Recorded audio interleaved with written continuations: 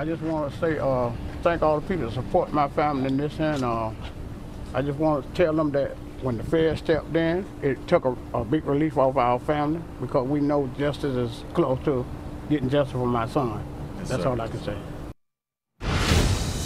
Welcome back to Court TV Live, your front row seat to justice. I'm Julie Grant. Today, we're covering a special two day long motions hearing in the case of the killing of Ahmaud Arbery. He was the 25 year old black jogger who was shot to death on February 23rd of 2020 while he was jogging in a Brunswick, Georgia neighborhood. This is him right here.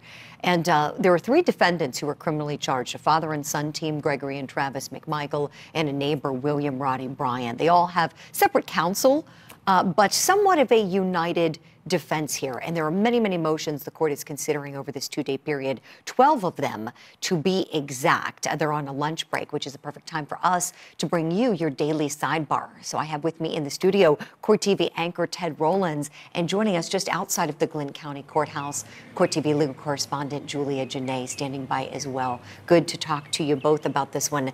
Uh, so much to unpack. Um, I thought perhaps we could start with the issue of the prior bad act evidence. And I, I, just had a really great conversation with our two legal analyst guests, George Brauchler and Marcia Minot.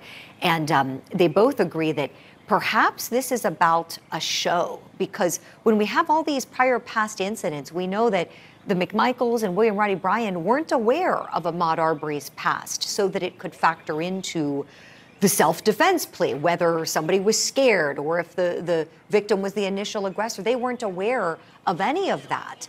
And so, to their point, perhaps these attorneys are well aware of that, but just want to put it all out there, put it in the record, and hope that the public digests it. So I want to get your takes on that, please. Ted, I want to go to you first, if I may. Yeah, I, I think there's some validity to that. They're very upset with the narrative in the public sphere that they believe that their clients have been getting a bad rap with the narrative that they just simply chased down this African American man because he was running through the neighborhood which seems to be what happened, by the way. But they, um, I think they're enjoying this. They're saying, look at this, look at this, look at what we found about this, about this young man.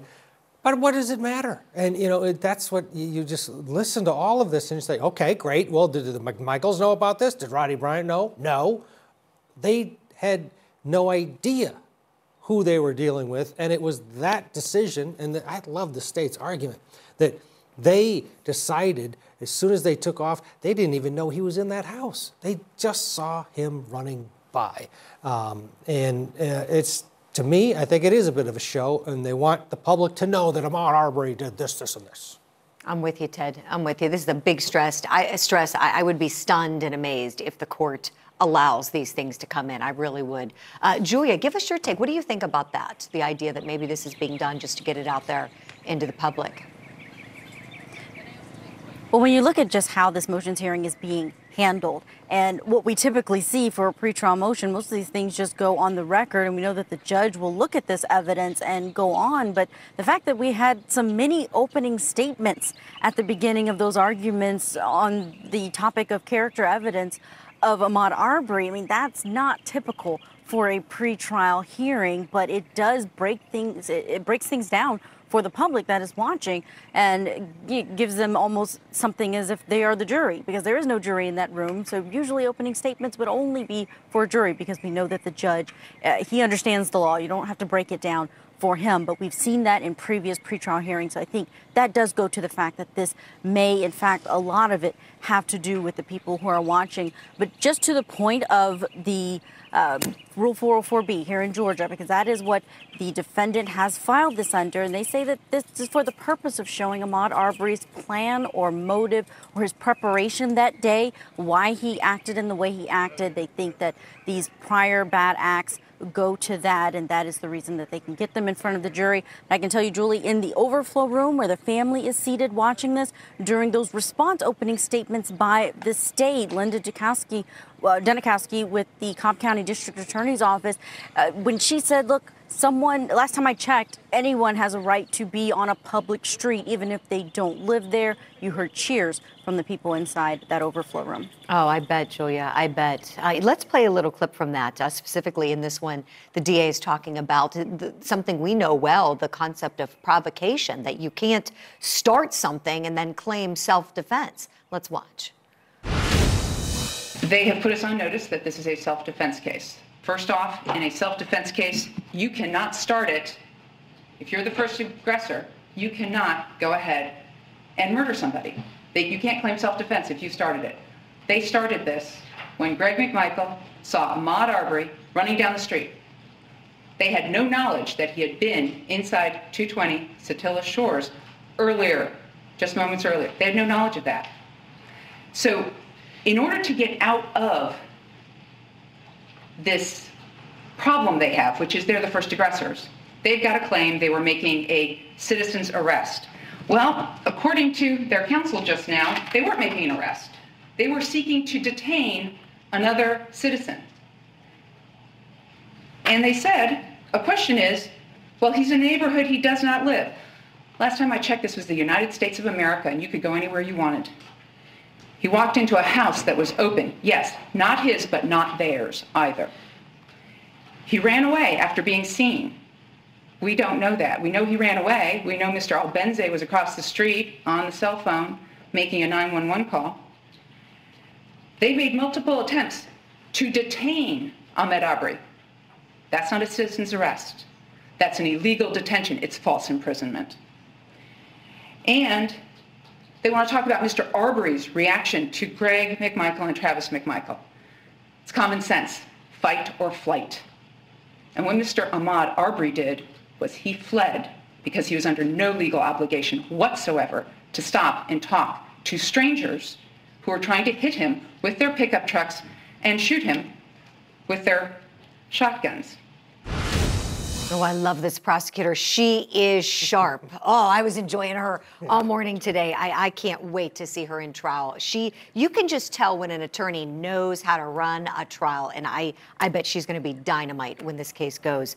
Um, and Kevin Gough yes. is fun to watch too. Oh, He's he is interesting to watch. Yes, yeah. you're right. Yeah, they are both very spirited. Mm-hmm. A lot of passion from from those advocates. Yeah, fireworks right out of the gate. You were yeah. anchoring the coverage, Ted, and wow, uh, they didn't waste any time. Uh, you can just tell they've all been doing their homework, really chomping at the bit to get here today. And um, one other point that I, I, wanted to make that I think that's really important, and when when lawyers, you know. When you look at the federal rules of evidence, which are typically a guide for how the state rules are going to look from state to state, and here Georgia's rules are strikingly similar to the federal rules. When you have a self defense case, like that's been indicated here, and you you have a, a victim in this case whether this is we're talking about a homicide or sex assault this is going to be applicable. But as part of the plea the defendants can take the initiative to show the victim's character. Two ways. They can do it by reputation evidence or opinion evidence um, to show that the victim was the first aggressor. So to me, I see another big problem here because that's not what we're getting here. I mean, we're, we're getting specific instances being set forth through the testimony of, of police officers, video evidence. Um, they're, they're looking at documents to show a conviction. That's not someone's reputation. That's not how someone was known in the community. You know, so to me, that's like the other part of the problem. So the first part is the McMichaels and Roddie Bryan, none of them knew anything about Ahmaud Arbery. So that's one huge reason to keep all this out. And then the other reason is this evidence doesn't quite fit the way the rule prescribes it to be introduced. So there is that as well. Just wanted to to make that point. You both know I love the rules. I love getting into them. So I think that's something we might hear the judge cite later. Want to talk to you both about the the new DA Flynn Broady and how his name came up. Let's take a look at a clip. We have one from both the state and the defense, um, and talking about some social media posts that were made by him throughout the campaign and whether or not that's going to be relevant. Let's take a look. The state would object on relevancy grounds to all of this. This, these are just literally screenshot, screenshots of social media um, by Flynn Broady and have absolutely no relevance to this case most of them appear to just attempt to ensure that everyone knows he's a Democrat and that he basically advocated voting and he advocated voting for uh, President Biden. And that is all that is here, with the exception of, I believe, two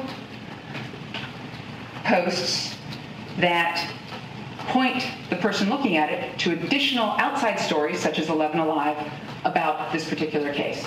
But that's all that's here. And that is defendant Bryan's 3L on February 22nd of this year at 9:45 p.m. Mr. Broady posted about an 11 Alive news story about this case, just directing people to take a look at it. In addition, on May 9th of 2020, at the time he was a candidate, Mr. Broady posted to a TopBuzz article from Savannah, Georgia that referenced this case. And that is all that's in here that is referencing this case in any manner, what- in any manner whatsoever. So we would, um, we ask you to uh, not allow this in. We object to it based on relevancy.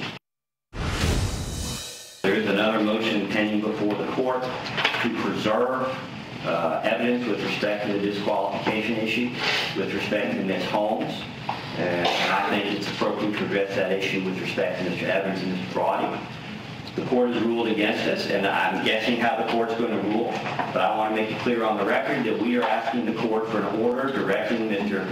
Flynn Broady and Ms. Joyette Holmes and Mr. Jesse Evans not to destroy any personal emails, personal texts, or other quote-unquote personal as opposed to business uh, communications with respect to the Arbery case, specifically with respect to any issue with respect to disqualification.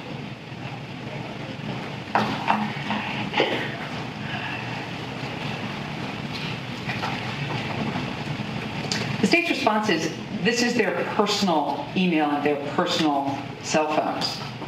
And even if they're personal, they could be considered attorney work product.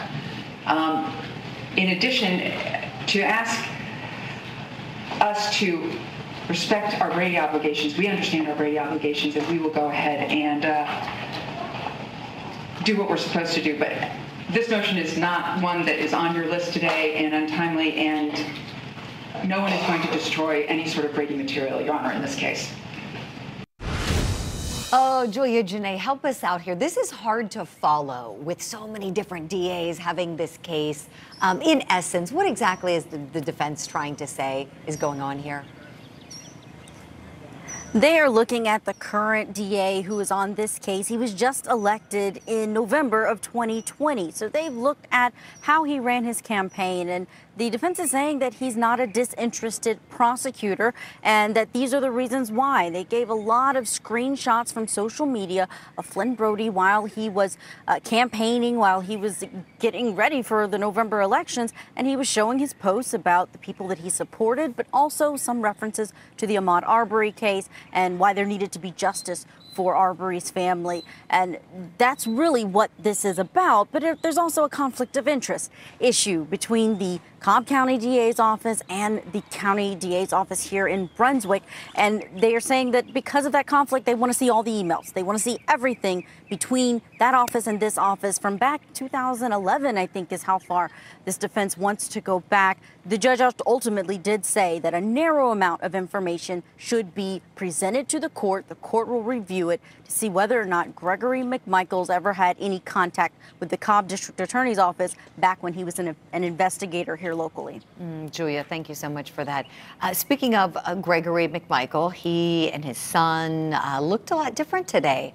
Uh, didn't they, Ted? I, I, was watching as you were anchoring earlier, and you really noticed uh, the weight loss uh, with respect to them in particular. Yeah, uh, Travis McMichael, especially when he walked into the courtroom, um, much different look than if you look at his video of the body camera explaining what happened. Um, he has uh, obviously dropped a lot of weight uh, while being incarcerated, and one can only imagine the stress and the dietary changes that he has gone through. Um, yeah, but uh, it was dramatic. I mean, a lot of times we do see defendants come into court for the first time in a long time. It was like, oh, oh they look different. Um, this was dramatic. Oh, most definitely. There he is, there sitting down, and uh, this is interesting. First time they've been in the courtroom. I mean, since you know, the pandemic has been going on, everything has been done via Zoom, as we know. But really, we're getting a good look at the three of them today. Uh, Got to leave it there. But Ted Rowlands and Julia Jenae, thank you both so much. We're going to step aside for a break. When we come back, we're going to continue our live coverage and legal analysis of this motions hearing. Very important issues are being litigated today ahead of the trial for the killing of Ahmaud Arbery. This is Court TV Live, your front row seat to justice.